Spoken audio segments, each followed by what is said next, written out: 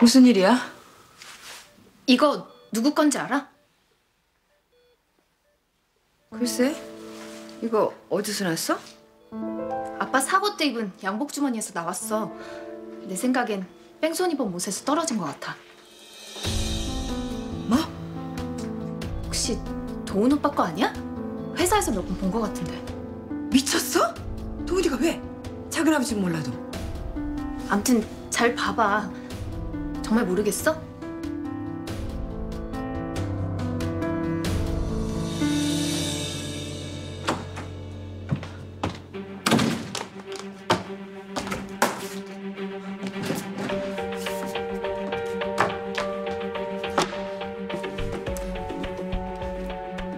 이럴 줄 알았어. 말로만 형님 형님 하면서 내 뒤통수를 쳐?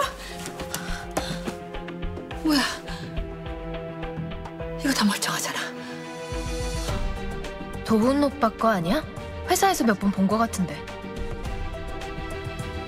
설마.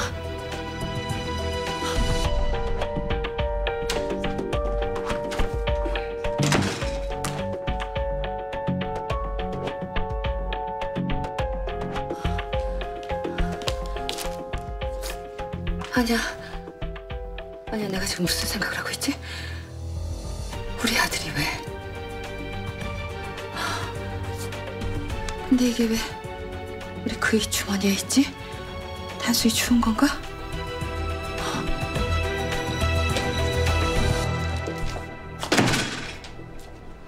어머님, 여기서 뭐 하세요?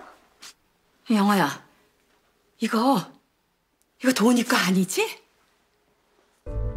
아니에요. 전 처음 보는데요. 아 그래.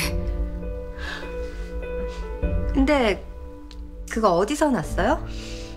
어 이, 이거 내 생각엔 뺑소니 본 못에서 떨어진 것 같아. 어 이거 주웠어 거실 바닥에 있더라. 그럼 작은 아버님 아니면 아버님 거겠죠. 아 그래 그렇겠지. 그래 그럼 일 봐라.